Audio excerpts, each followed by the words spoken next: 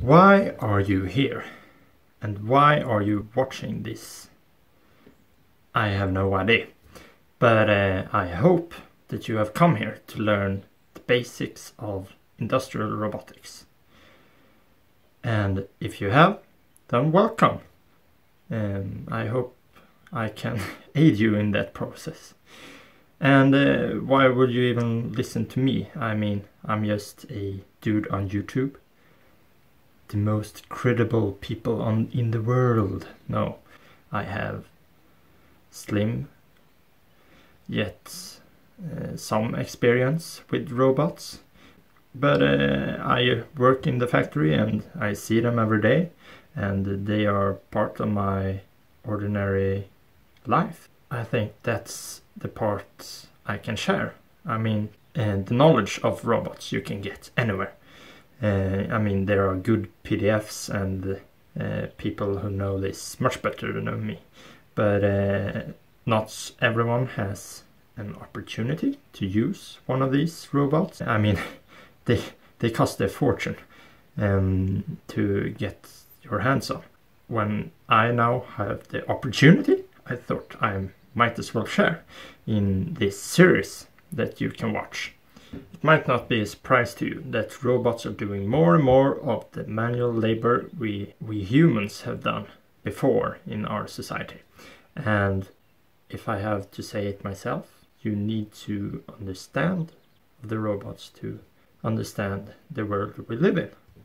And I also listened to the uh, Joe, oh, Joe Rogan Experience podcast, where he interviewed um, Andrew Yang, who uh, had this to say about robots taking our jobs. Well, what I say to people, Joe, is I say, hey, have you noticed stores closing on your main street? And then they say yes. And then I ask them, why is that? And then they reflect for a minute and then they say Amazon. And I'm like, yeah, that's right. you know, Amazon's getting $20 billion of commerce every mm-hmm. year and is now tipping your malls and main street stores into oblivion. Yeah. And like, is that going to get better or worse? Because so so some people say it's like how the robots, like the robots are years away, and then you're like, no, it's not robots actually like walking around your neighborhood. I mean, of course that's unlikely, but Amazon soaking up the business that used to go to your mall.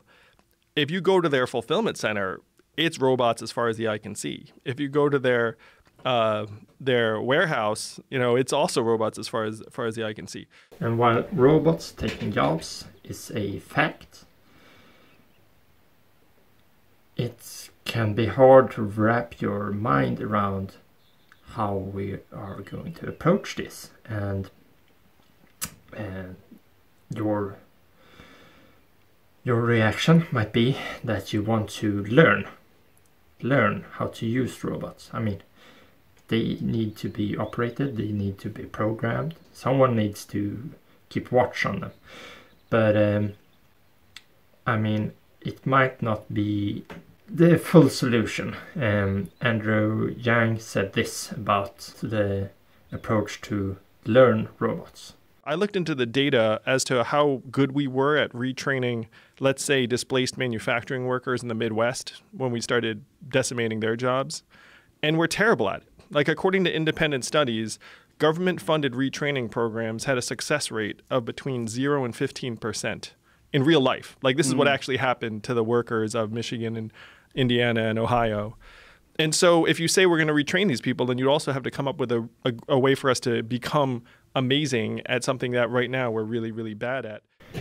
While learning robots uh, will not solve the problem with automation, it will give you an edge when it comes down to the wire. And I will try to give you some knowledge that you could use in the future. I will post the episodes here on YouTube, but I will also try to post them on uh, the Reddit Industrial Robotics. But you can also PM my Reddit account to learn, well, ask questions. I don't know.